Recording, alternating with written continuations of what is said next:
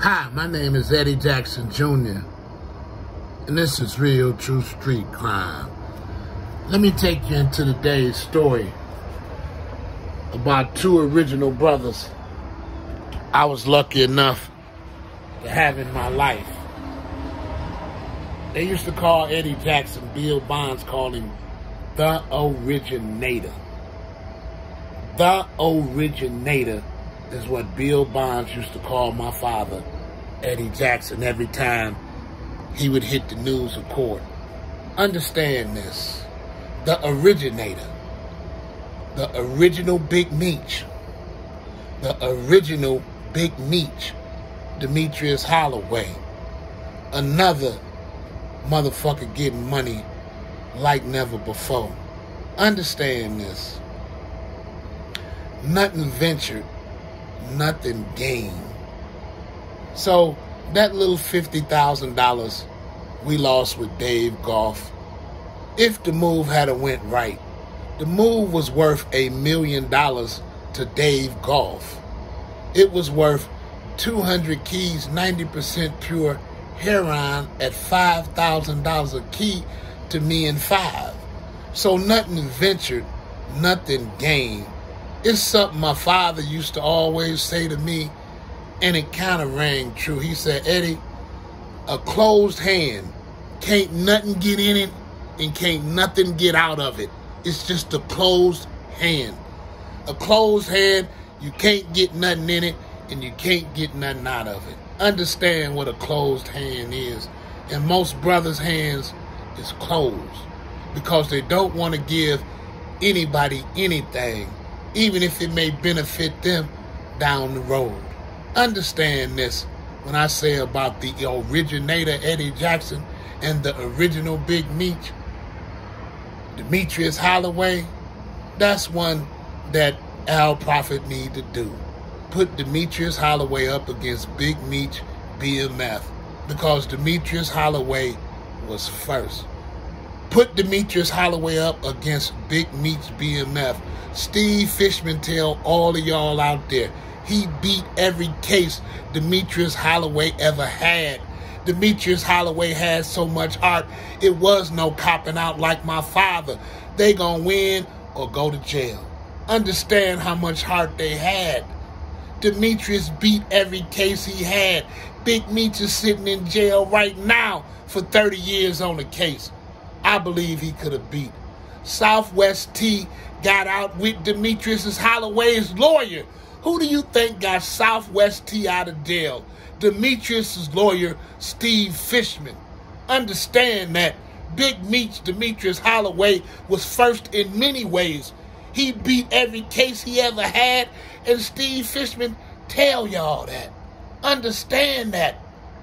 You understand the originator and the original Big Meech wasn't nothing to play with. Understand that Demetrius Holloway beat every case he ever had, and Steve Fishman represented him on him, and he told all y'all that.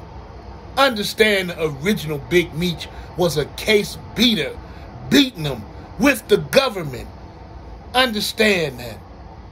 With Detroit City Police, as his fame grew, the cases grew, taking money Steve Fishman had to go back and get $250,000 they took from him one night we leaving the 19th hole. Understand that. So I keep telling y'all, if you want to do a real one and look, ain't nothing new up under the sun. Let me tell y'all that. There is nothing new up under the sun. And let me say this, and I have to always tell y'all that. It takes a lot of heart to walk in that courtroom when they talk about giving you life in 20 years. And I'm going to tell you this.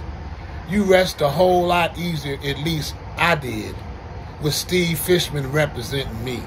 If I knew Steve was going to be on my arm walking in that court when I had a case, I could sleep at night. But if Steve Fishman wasn't representing me, I'd toss and turn, worry, got butterflies and everything else. And Steve Fishman used to clear them butterflies up. So when you out there getting big money and you that man, get you a hella fine attorney like Steve Fishman so you don't have to sit 30 years down quite like Big Meech did. And remember this, as I said to y'all, Demetrius Holloway's lawyer, Steve Fishman, is the one who got Southwest Tia time cut. Understand that. So when you comparing the two, compare how many cases Demetrius won and beat and walked out of the courtroom and compare how many cases Demetrius Flenory won and stayed in the courtroom for 30 years. Understand that when the feds came at Demetrius, he was at his biggest and hottest and beat them. Demetrius has got on the stand and testified himself in a case and won. Demetrius Holloway, as I said to y'all before, was a real fighter. Eddie Jackson was a real fighter. It wasn't no quitting laying down, talking about giving them white folks $50 million. We didn't got out here and worked our ass off to get. It. We'd rather give it to Steve Fishman and let's see what happens in the courtroom. Because you ain't getting no 50 million out of me. Steve Fishman would get it before they got it. And understand that that's how we've always felt. My father facing an 848 went and got Henry Ross Black up in New York to take him out, take him down. Judge Feikens, they thought they was going to get a fat man life. The fat man told you he had heart to fight. He told Ron Valley, we going to be seeing a lot of each other. And told Judge Feikens, I'm going to get some show enough heavyweight attorneys. And when Henry Ross Black walk in there, the C split in the federal courtroom in Detroit. They couldn't believe who Eddie Jackson had went and got to represent him. Henry Ross Black, one of the greatest attorneys ever to live, writing the book of law with F. Lee Bailey. Go to the library and look it up for yourself. As I told y'all before, I ran with trendsetters, groundbreakers, and money makers, baby. They was trendsetters, groundbreakers, and money makers. And as I say, as the fat man used to always say, it's gonna take these niggas a lifetime to catch me. And he was going for that billion dollar mark. Understand that, and this is in the early 70s. Everybody who know Eddie Jackson used to hear him say, I'm gonna make a billion dollars and build me a skyscraper in New York. Understand that anybody who hung around Eddie Jackson heard those words.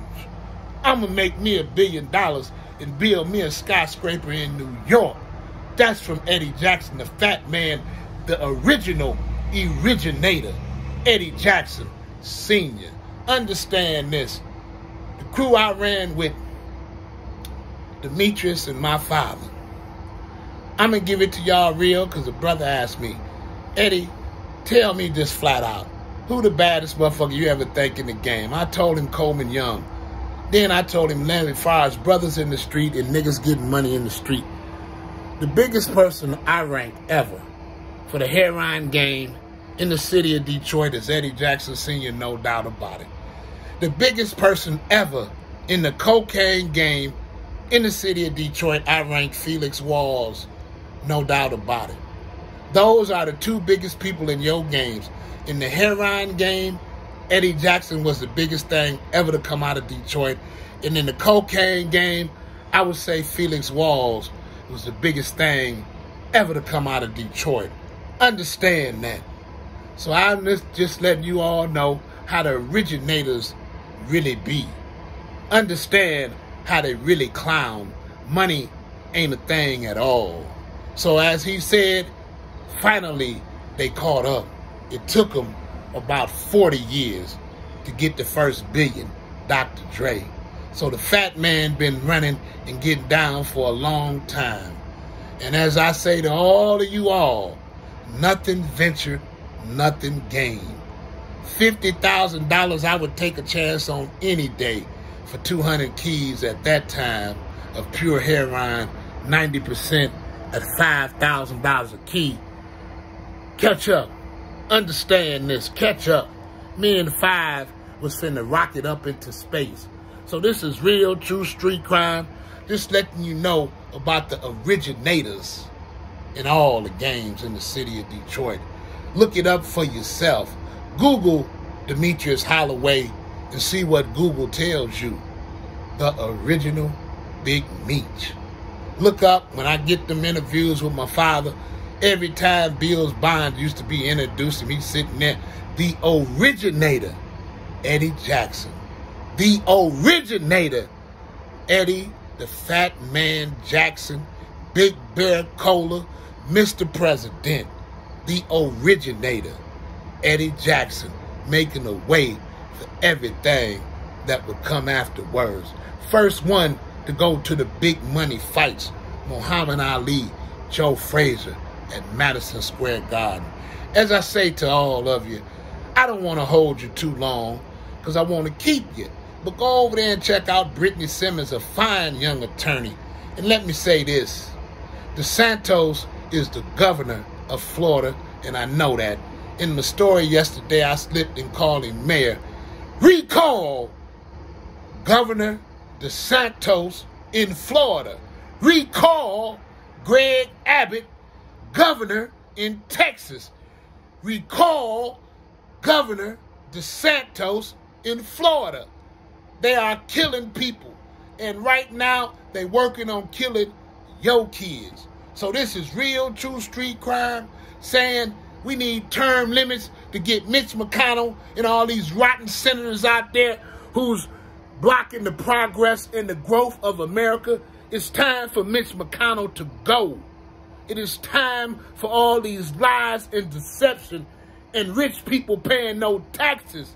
It is time out for Bill Gates and Jeff Bezos and all of these billionaires who ain't paying no taxes and doing their fair share to help America and think we supposed to sit around and cheer them going up to the moon. How about this? We'll cheer you if you pay some taxes. How about that, Mr. Jeff Bezos, Mr. Bill Gates, Mr. Virgin Ruckus? Why don't y'all try paying some taxes and we'll stand around and cheer you when you throw your money away going to the moon. But it don't seem quite right. It seems like you throwing the taxpayers' money away going to the moon because you're not paying any taxes. If you was paying any taxes, I wouldn't say anything because they rode my father like a horse about him, and all of you could buy and sell him 50 times over. So it's a disgrace. And Milton Henry even said it back then, if you look at the video, and I'm going to start to play the video a little more. Milton Henry says this himself. Mr. Jackson pays his taxes. That's much more than I can say for the Shell Corporation, Bill Gates, Jeff Bezos, Virgin Ruckus, all of them. Warren Buffett. Warren Buffett says, and here's a disgrace to y'all, and I ain't gonna hold you long because I know you don't like this. Warren Buffett said, it is a disgrace in America, and this is Warren Buffett, a billionaire, saying this out of his own mouth. Warren Buffett said, it is a disgrace in this country that his secretary pays more taxes than he does. And that's straight out of Warren Buffett's mouth, a billionaire. How in the world can his secretary pay more taxes than him? This is real, true street crime. Saying subscribe, share, and like.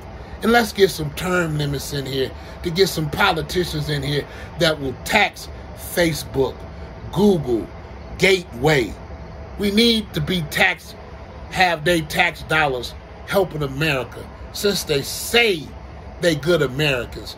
How can you really tell me you're a good American and you making billions and billions and billions on top of that and you won't pay any taxes to help the people? You feel whatever you give out of your heart is what you should, and that's not right. They should pay taxes, and I'm saying that to you, America. Everybody else, even Jared's daddy, even Jared Kushner, daddy went to jail about tax evasion and taxes. So this is real, true street crime. Subscribe, share, and like. And thank you to all who watch me, view me, take a look at me, whether good or bad, thumbs up or thumbs down. But let me say this and I'm out of here. Go on and check Brittany Simmons out, a fine young attorney. Check her out, and she would definitely help you out. Simmons Law, Wheels, Divorces, anything corporate. Jelani's Tasting Table, fine young chef, weekend down there banging it out at the Techno Fest in Southwest Detroit. Jelani's Tasting Table. Maybe you got a chance to taste one of them turkey drumsticks this weekend at the Techno Fest. Top tier cuts 313, Super Ken for the weekend, baby. Top tier cuts 313, Super Ken for the weekend. Coney Island Chronicles is Coney Island Tony. And Coney Island Chronicles, check them out on YouTube and on Instagram. Coney Island Tony. Coney Island Chronicles. And you got to check out Big Boss Film, Courtney Brown Jr., because he's on fire over there. He is burning them up. You got to check out Big Boss Film. You got to check out Motown Mafia podcast on Spotify. Courtney Brown Jr. leading the way, scorching them all the way. And Clarence and Metcalf, loud delivery, awful loud. I smell them all the way over here. They're awful loud out of HP Highland Park, Michigan. And you got to go on over there and check us out on Crime Town, Spotify, Kingpin's Kids. And I'm going to be seeing a lot of you all.